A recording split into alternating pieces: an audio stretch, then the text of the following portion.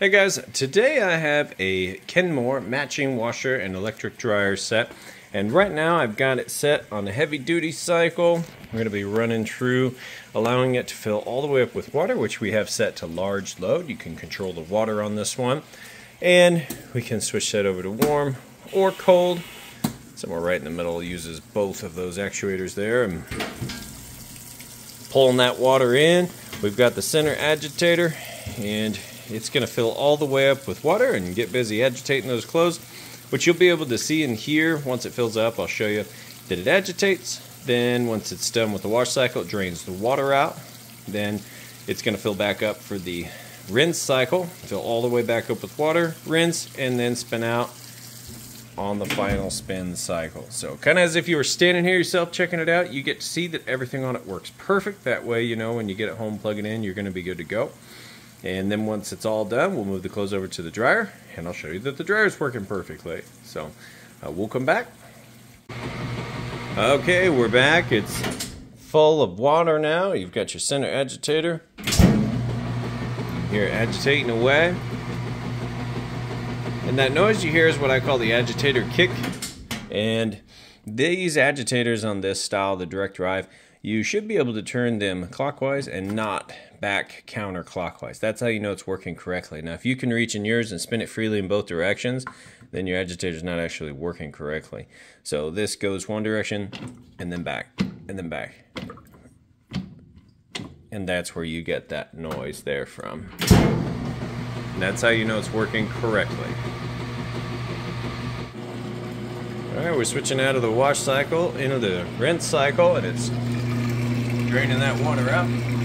Here, draining nice and fast, and it's in what's called a neutral drain cycle right now. So it is only draining. Then when it's done, it's going to kick over and spin to extract the soapy water. Then it'll fill all the way back up with fresh water for the rinse cycle. Same thing, it'll neutral drain, and then we'll be on to the final spin, which is what I'll come back for next. All right, final spin cycle. Get that to focus there. Full speed. Now I'm going to go ahead and lift this up and it's going to shut down.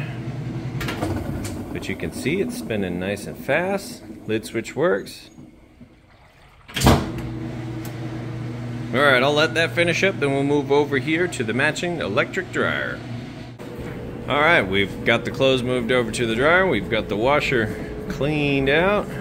Let's go ahead and close that up. Now we'll come over here I've got it on time dry, high heat setting. You've got a signal switch, so you can turn that off if you don't want that going off in the middle of the day, if kids sleeping and pets, that kind of thing.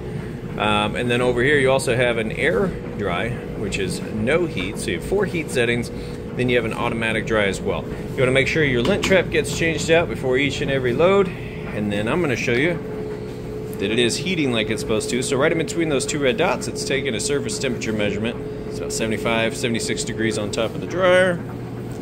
About 64 on the concrete floor. So we'll go ahead and open this up. You see everything's tumbling, lights working, and then plenty of heat coming out of the heating element tube right there. So the inside of your dryer, it's only going to heat up from about 95 all, all the way up to 195 but this tube right here is where the heat pumps out and it gets pretty hot. You can see plenty of heat there. So the air is going to circulate in here and then go out there where the lint trap can catch any lint debris. And then the air goes out the back of your dryer. Now, when you have this hooked up to a vent hose in your laundry room, you won't be able to hear that blower motor. It'll be virtually silent. I don't have that set up in here, but as you can see, everything on them works perfect. I'll go ahead and get them listed up for sale. If you have any questions at all, feel free to reach out. And I do appreciate you taking the time to watch my video. Thanks, you guys have a great day.